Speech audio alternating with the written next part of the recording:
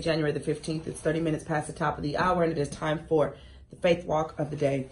Today, I just want to let you know that greatness requires great sacrifice.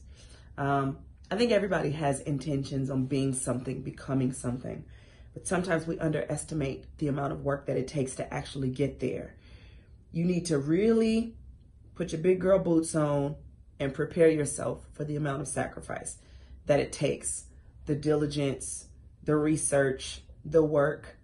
Um, you won't be able to hang out with everybody. You won't be able to just have lazy days. Not while you're in the grind, not while you're in the thick of it. I mean, just like me having to wake up at 2.30 in the morning um, to do this, to, to talk to y'all, to inspire y'all, to encourage and play this great gospel music. And I do enjoy it, but I do get tired, you know?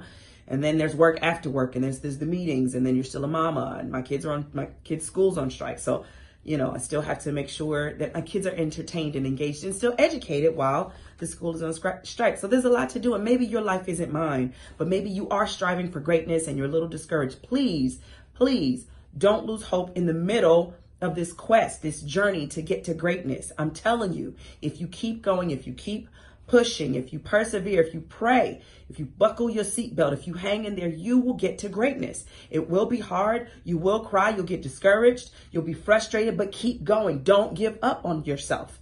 Don't give up on the dream. It's okay if you have a bunch of cheerleaders or none at all, or maybe just one. Don't feel bad about that. Sometimes you have cheerleaders and sometimes you don't. Sometimes people will ask you, Are you sure this is too much? Maybe you shouldn't, but God put something down in your soul. Keep going.